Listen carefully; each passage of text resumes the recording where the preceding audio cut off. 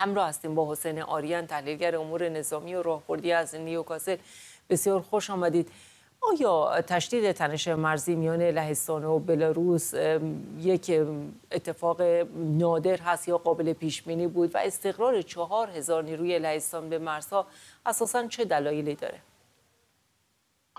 خب دلیل اصلیش به خاطر گروه واگنره. می‌دونیم که گروه واگنر به حال حالا مستقر شدند. حدود چهار هزار نفر اینا در بلاروس و به نظر می‌رسه. اون گونه که حساب منابع غربی میگن میگن که یه طرحی از طرف مسکو و مینسک دارن اجرا می‌کنن برای باز کردن جبهه جدیدی در امتداد به حساب مرز بلاروس با سه کشور در واقع لیتوانی لتونی و لهستان. اینا کشورهایی هستند که هم مرز بلاروسن.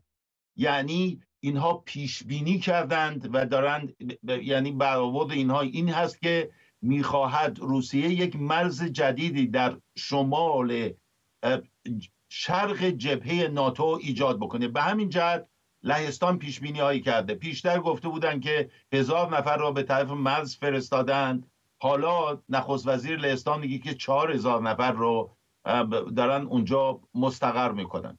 ولی در یک بود وسیع اگه بخوایم نگاه بکنیم اگر واقعا چنین طرحی در بین باشه ناامنی در امتداد مرز لهستان لیتوانی و لتونی می‌تونه یک جبهه جدیدی رو باز بکنه. ناتو رو با چالش های مواجه خواهد کرد. اثر خواهد گذاشت بر جنگ در اوکراین. اهداف روانشناختی می‌تونه داشته باشه که ایجاد خستگی نبرد به قول خارجی ها بتل فتیگ در ارتباط با جنگ اوکراین ایجاد بکنه. حتی اگر یه موقع اینا بخوان صحبتی پیش بیاد بین اوکراین و روسیه در رابطه با آتش بس یا متارکه می‌تونه روی اون هم اثر بذاره. به همین جهته که لهستان داره پیش بینی هایی می‌کنه و ناتو هم پیش بینی های قابل ملاحظه ای را کرده در طول حساب مرز شرقی یا جبهه شرقیش از کشورهای بالتیک یعنی از دریای بالتیک گرفته تا به رومانی در جنوب شرق در دریای سرخ نیروهای بیشتری را در امتداد این مرزها کار گذاشته در ارتباط با جنگ اوکراین و رفتار روسیه در منطقه کشیده شدن دامنه جنگ اوکراین به جبهه های تازه و به مرزهای لهستان چه تأثیری می‌تونه بر سرنوشت جنگ اوکراین و روسیه داشته باشه؟ خب می‌تونه تاثیر فراوانی داشته باشه. برای اینکه واقعا بخشی از نیروهای یعنی توجه ناتو رو معطوف می‌کنه به طرف این سه کشوری که گفتم یعنی جبهه به حساب شمال شرق ناتو.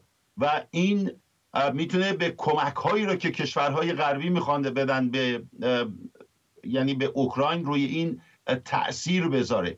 ولی فکر نمی کنم که بتونه واقعا اگر چنین طرحی از طرف مسکو و مینسک در میان باشه کارساز باشه برای اینکه ناتو مصممانه در امتداد تمام این کشورهایی را که در جبهه شرق به طرف روسیه قرار گرفتن بله. واحدهای بسیار زیادی را کار گذاشته واحدهای چند ملیتی که قبلا استعدادشون در حد گردان بود و حالا اینها رو به حد تیپ رسونده بله. سپاسگزارم از شما حسین آریان تحلیلگر امور نظامی و راهبردی از نیوکاسل با ما.